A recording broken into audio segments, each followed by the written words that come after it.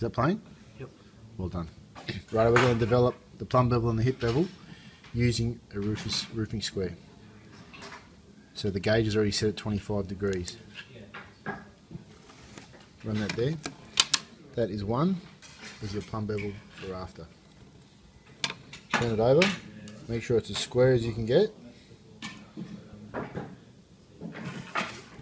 Continue that through. That's number two. That's your level bevel for rafter.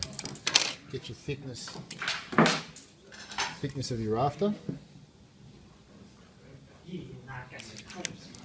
Run that through there. Run that square on the edge to get your edge bevel for creeper.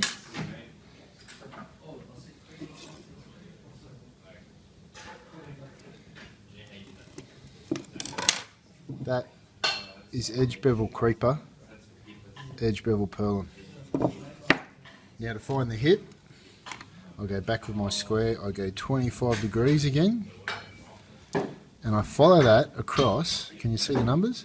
It's about five and two thirds, which is there. Now that's for the common rafter. I want to transfer that onto my hip, which is approximately there. That is number five, plumb bevel from the hip. Okay. Run that square.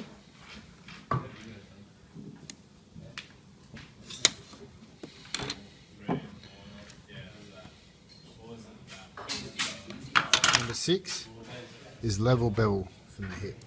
Okay.